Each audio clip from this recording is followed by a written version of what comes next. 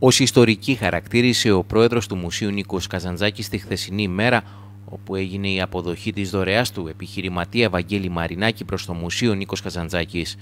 Μια δωρεά που αφενός αναλαμβάνει ο επιχειρηματίας όλα τα χρέη του μουσείου και αφετέρου, αναλαμβάνει και την λειτουργία του για τα επόμενα 10 χρόνια. Είναι πολύ σημαντικό το γεγονός ότι μέσα σε αυτή την δύσκολη οικονομική περίοδο που το Μουσείο Νίκος Καζαντζάκης κινδύνευε ακόμα και με κλείσιμο, ο Βαγγέλης Μαρινάκης ανέλαβε και τα χρέη αλλά και το κόστος της λειτουργίας του. Το μουσείο το οποίο πραγματικά εργάζεται, αποδίδει, κρατάει το επίπεδο πάρα πολύ ψηλά, αλλά είχαμε τεράστια προβλήματα.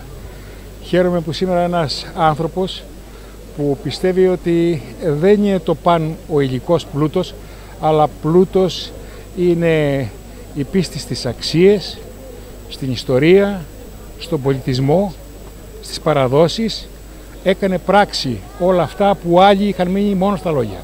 Ο επιχειρηματίας ενημερώθηκε πριν από μερικούς μήνες για τις δυσκολίες που αντιμετωπίζει στη λειτουργία του το Μουσείου του Νίκου Καζαντζάκη.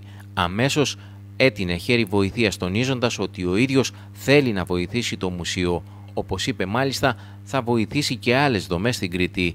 Ο επιχειρηματίας τόνισε ότι τα επόμενα 10 χρόνια ο στόχος όλων στο μουσείο θα πρέπει να είναι πως το έργο του μεγάλου συγγραφέα θα βγει ακόμα περισσότερο προς τα έξω και ιδιαίτερα με έμφαση προς τα μικρά παιδιά. Αυτό το μουσείο πραγματοποιεί ένα λειτουργήμα και θα έπρεπε εδώ και πολύ καιρό πάρα πολλοί φίλοι, κριτικοί, Έλληνες, χρηματίες από όλο τον κόσμο να είχαν πράξει το αυτονόητο, να είχαν βοηθήσει αυτό το λειτουργήμα και να προβάλλουμε όσο μπορούμε το έργο του Νίκου Ζαζάκη, όχι μόνο στην Ελλάδα, αλλά στο εξωτερικό, που από το εξωτερικό ήταν οι πρώτοι, μην ξεχνάτε, που τον εκτίμησαν τον Καζαζάκη και μετά τον εκτιμήσαμε εμείς σε αυτόν τον ευλογημένο τόπο. Ο Βαγγέλης Μαρινάκης όμως αναφέρθηκε και στην οικονομική κρίση, τονίζοντας ότι οι κριτικοί θα τα καταφέρουν να βγουν ακόμα πιο δυνατοί μέσα από αυτή, καθώς κάτι τέτοιο όπως είπε το έχουν δείξει και στο παρελθόν, ότι δηλαδή